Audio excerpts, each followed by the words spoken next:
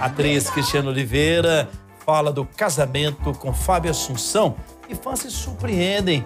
Muita gente não lembrava desse relacionamento. Pois é, a Cristiano Oliveira e o ator Fábio Assunção já foram um casal queridinho da mídia lá no começo dos anos 90. Eles ficaram juntos por três anos. Na época, o Fábio tinha 19 anos, novinho, né?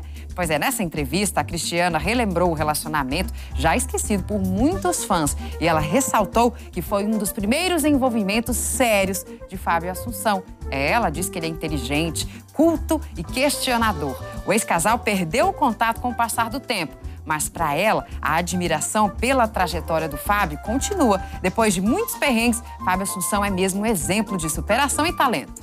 Roda aí.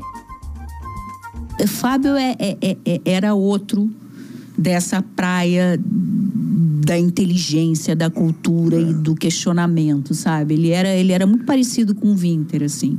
Fábio sempre foi um cara muito questionador, assim, e, e, eu não tinha esse conhecimento. Ele também veio do teatro, entendeu? De então, São Paulo. É, de São Paulo. Ele é um ator, ele, é, é, um super ator e era um cara muito entregue, sabe? Um cara que enfim, eu admiro muito. Nós não, né, a gente já perdeu o contato há muito tempo e tal, mas eu sou uma grande admiradora da trajetória do Fábio, porque o Fábio foi um guerreiro. Entendeu? Com tudo que ele passou na vida dele, ele hoje está bem, super bem casado, acabou de ter uma filhinha, é, entendeu? É, então, assim, é a gente tem que aplaudir. Sim.